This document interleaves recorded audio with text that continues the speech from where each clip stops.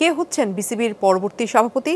মাশরাফি বিন মুর্তজা সভাপতি হতে চান কিনা সেই নিয়ে সন্দিহান বর্তমান সভাপতি নাজমুল হাসান পাপনের। আর পরিচালক হলেও সভাপতি নির্বাচিত হতে পারবেন কিনা তা নিয়েও আছে শঙ্কা। তবে সংসদ সদস্য না হলে মাশরাফিকে দিয়ে টাইগারদের ম্যানেজ করার, ম্যানেজার করার স্বপ্ন ছিল পাপনের।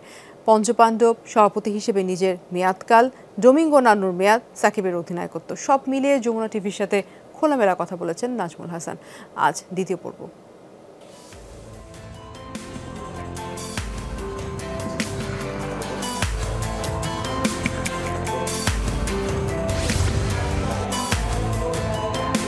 একটা সময়েই তো নিশ্চয়ই থামতে হবে এবং বলা হয় যে লিডারকে সব থেকে বড় গুণ হচ্ছে একটা লিডার তৈরি করে যাওয়া তো সেই জায়গায় আপনি কাউকে স্বপ্ন দেখেন যার হাতে রেখে যাবেন?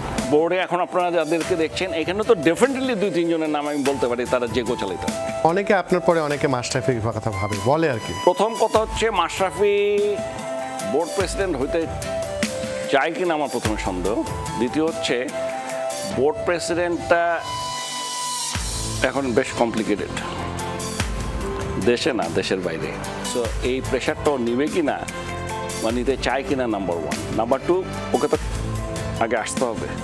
মানে অনেকে মনে করে কি সেদিন একজন খুব ধরছে, আমি ডাইরেক্টর হব। প্রায় রোজই আমার ধরে। আমি ডাইরেক্টর চাই আমার ডাইরেক্টর বান আরে কেমনে আপনার তো কাউন্সিলর না। তো প্রথমগুলো কাউন্সিলর বেলা তো আপনি হইতেই পারবেন না। দিস ইজ নাম্বার ওয়ান তো আগে একটা কাউন্সিলর হন, একটা ক্লাব কিনেন বা চালান, কিছু একটা করেন। আমার ধারণা মাশরাফি ডেফিনেট ইলেকশনে জিতবে। মানে আমার আমার আমার কোনো সন্দেহ নেই। কিন্তু ডাইরেক্টর হয়ে আসার পরে প্রেসিডেন্টে পারবে কি না এটা বিশ্ব। মাস্টারফিকে আমাদের প্রথম থেকেই প্ল্যান দেখেন, আমার কাছে মনে হয় মাস্টারফি অলরেডি ইজ টু বিজি আমার কাছে পার্সোনালি মনে হয়। ও কিন্তু প্রচুর সময় দিচ্ছে রাজনীতিতে। আমাদের আমার পার্সোনাল একটা ইচ্ছা ছিল এটা ও জানে। মানে আমি ওকে বলেছি আমার যতটুকু মনে হয় আমার মনে হয় আমি বলেছি আমি সবাইকে বলতাম যে মাস্টারফি যেদিন রিটায়ার করব ওকে আমি বাংলাদেশ টিমের ম্যানেজার বানাই দেবো।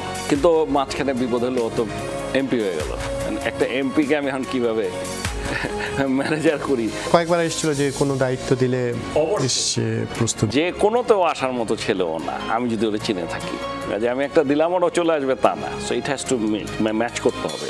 সো আমার ওর সাথে বসে we will finalize Daphne Ahmed, Joanna Sports, Taka.